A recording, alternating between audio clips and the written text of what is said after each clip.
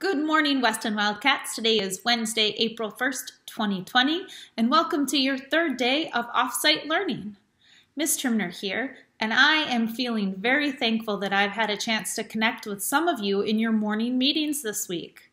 You guys are doing a great job getting your work done and sharing with your teachers and helping one another online. Keep up the awesome work. So, yesterday, our riddle was what is black and white and blue? Hmm, the answer to that riddle is pretty simple. A zebra that is sad is black and white and blue.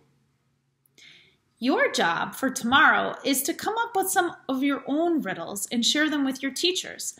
I think it would be really cool if you could find a great riddle and share it with your teacher, and then maybe I'll share it on the morning announcements tomorrow. That way we all get to share in the fun together. So we do not have any birthdays today for April 1st. However, we do have a couple of fun and exciting things going on. It is virtual Spirit Week this week for our Weston Wildcats. Today is What You Making Wednesday.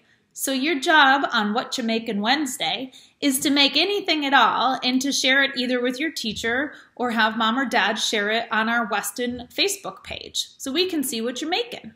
It could be a Lego project, it could be building with blocks, you could be doing your STEAM challenge, making a pillow fort, whatever you're thinking. Just make something for what making Wednesday.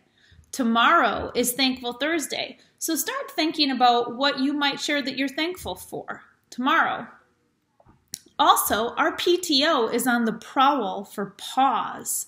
This is a great way for us to join together and show our Weston pride. So they shared a link on their Facebook page of some paw prints that you can print out and color or make your own paw prints and hang them in your windows at home so that we can show that we are still one big Weston family even though we're not together at school. That's it for today. I'll check back with you tomorrow. Keep doing your very best work. Keep being respectful, responsible, and productive. And go Wildcats!